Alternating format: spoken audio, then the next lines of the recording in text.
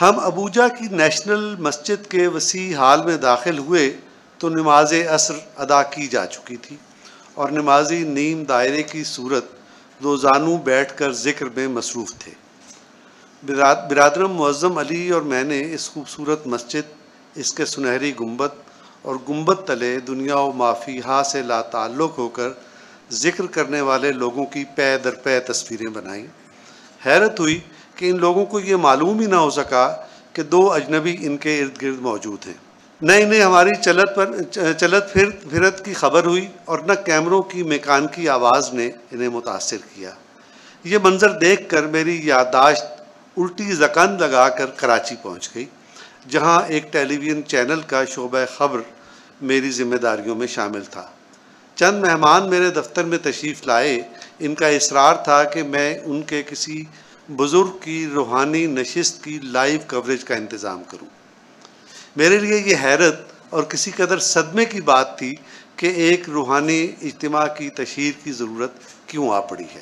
Abuja کے درویشوں کے ذکر میں محویت اور گرد و پیش سے بے خبری نے یہ تو واضح کر دیا کہ روحانی محفل محافل کے آداب کیا ہیں۔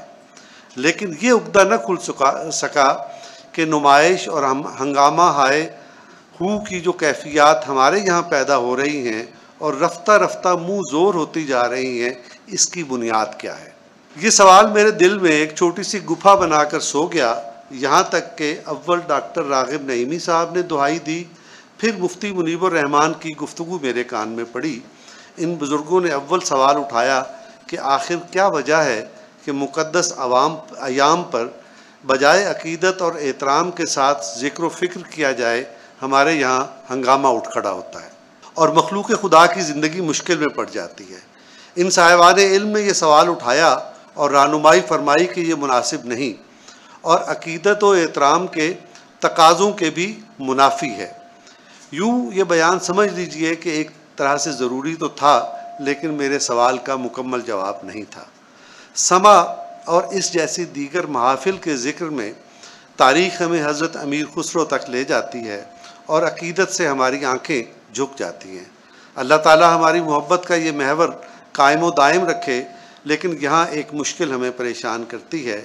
یہ پریشانی اس وقت دامن پکڑتی ہے جب ہم تصوف کی ام الکتاب کشف المعجوب سے روشنی پاتے ہیں۔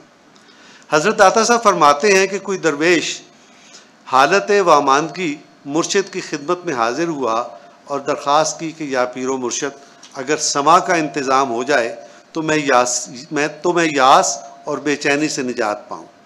حضرت نے سما سما کا اہتمام فرمایا، تو مرید کی پریشانی میں افاقہ ہوا۔ تب مرشد نے اسے اپنے دامن رحمت میں، دامن محبت میں جگہ دی اور فرمایا کہ، اے عزیز، اگر تم سما میں ہی عافیت ڈھونڈتے رہے، تو اپنی اپنے روحانی سفر کو اسی پر تمام سمجھو۔ لیکن اگر تم نے اسے عارضی پڑاؤ سمجھا، تو یاد رکھو کہ ایک وقت آئے گا کہ چیل کووں کے شور اور سما کی سر تال میں تمہیں زیادہ فرق محسوس نہیں ہوگا۔ یہ حکایت میں نے پڑھی تو پھر ایک سوال پیدا ہو گیا۔ سوال یہ تھا کہ مشرق و مغرب میں روحانیت اور تصوف کے سرتاج یعنی حضرت داتا صاحب اگر اس قسم کی سرگرمیوں کے بارے میں ایسی رائے رکھتے ہیں تو کیا ان کے عقیدت مندوں اور ان سے روشنی لینے والوں نے ان سے کچھ سبق بھی لیا ہے یا نہیں؟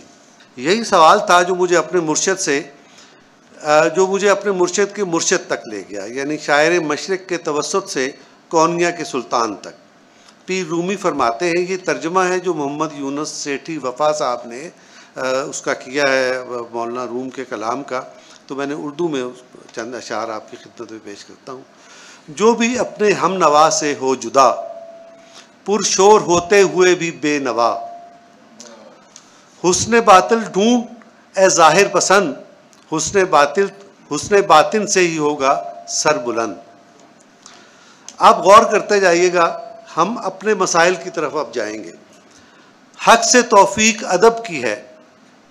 حق سے توفیق ادب کی ہے دعا، بے ادب پر کب ہوا فضل خدا؟ بے ادب خود ہی تباہ ہوتا ہے اور ہر طرف لاتا ہے تباہی کا دور۔ جب بھی چھائی رنج و علم کی تیرگی اس کا باعث بے ادب کی سرکشی۔ ہے ادب سے ہی ملک بھی تابناک، ہے ادب سے ہی ملک بھی تابناک اور ادب سے ہی ملک معصوم و پاک۔ بے ادب راہ طریقت کا صدا، حیرت و غم میں رہے گا مبتلا۔ کیسے کیسے گھر اس نے کیے تباہ، بن گیا شہباز بھی مرغے سیاہ۔ تو یہ پیر رومی کے ان اشعار پر ذرا سی توجہ فرمائیے کیا ایسا نہیں لگتا کہ اس مرد حق آگاہ نے ہمارے دیس کے حالات کا نقشہ الفاظ میں کھینچ کے رکھ دیا ہے۔ حضرت سلطان العارفین سلطان باہو علیہ رحمہ اس خطے میں روشنی کے مینار ہیں۔ صدیوں سے ان کے چشمہ فیض سے لوگ فیض یاب ہوتے چلے آ رہے ہیں۔ آپ محق کل فقر میں فرماتے ہیں، شیطان بے ادبی، دنیا بے ادبی اور نفس امارہ اور کفر و نفاق بے ادبی کی طلب چاہتا ہے۔ ادب کیا معنی رکھتا ہے؟ اور بے ادب کیا ہے؟ فرماتے ہیں، ادب حق بال یقین اور یقین راہ راستی ہے۔ بے ادبی شیاطین ہے دین کی اصل اور فخر کی بنیاد ادب ہے۔ دنیا ادب بے، دنیا کفر بے ادبی ہے اور کوئی بے ادب خدا تک نہیں پہنچتا۔ مزید فرماتے ہیں کہ جو شخص راگ اور راگ سننے والا ہے، راگ سے مراد آپ فساد فی الارض سمجھیں۔ جو راگ سننے والا ہے، وہ حق اور ہدایت سے محروم ہے۔ وہ مردہ دل ہے۔ اب میں سوال کرتا ہوں، کیا راگ صرف وہی ہے جو آلات سرود سے پیدا ہوتا ہے؟ حال ہی میں مفتی منیب الرحمان کی گفتگو سے واضح ہوا کہ اس کی شکلیں کچھ اور بھی ہیں۔ جن کی وجہ سے غور و فکر اور استغراق کے علاوہ ادب کے کرینے متاثر ہوتے ہیں۔ حضرت سلطان باہو اپنی ابیات میں فرماتے ہیں، زبانی کلمہ ہر کوئی پردہ دل دا پردہ کوئی ہو۔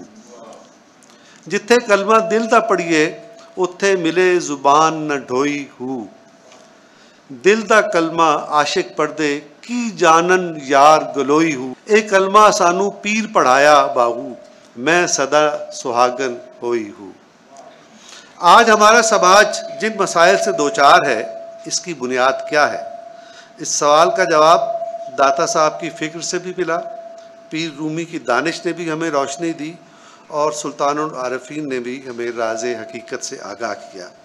پتہ چلا کہ سلطان العارفین ہوں یا پیر رومی، ہر دو کی فکر اور فلسفے کی بنیادیں ایک ہی چشمے سے پھوٹتی ہیں۔